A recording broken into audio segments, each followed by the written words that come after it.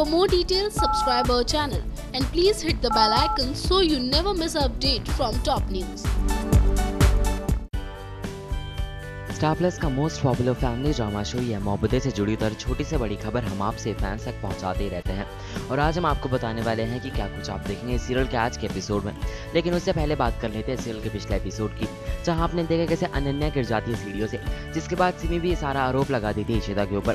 तो दूसरी तरफ़ आपने ये भी देखा कि कैसे इशिता अपनी बेटी यानी कि पीहू को बचाने के लिए पुलिस के सामने झूठी गवाही दे देती है, जिसके बाद जब इस बात के बारे में अनन्या से पूछा जाता है तो वो भी पीहू का नाम लेती है। लेकिन आपको बता दें कि पीहू का यह सारा जुर्म इशिता अपने ऊपर ले लेगी और साथ ही साथ इशिता को हो जाएगी जेल, जिसके बाद आप सभी ने सीरियल के पिछले एपिसोड में देखा कि कैसे अनन्या की हो जाती है मौत। फिर दूसरी तरफ़ आपने भी देखा कैसे इशिता को भी उम्र कैद की सजा सुनाई दी जाती है, जिसके बाद आपको बता दें कि रमन भी इशिता को सारा सच बताने के लिए कहता है। लेकिन आपको बता दें कि इशिता ये सब कुछ अपनी बेटी यानी कि पीहू को बचाने के लिए कर रही है।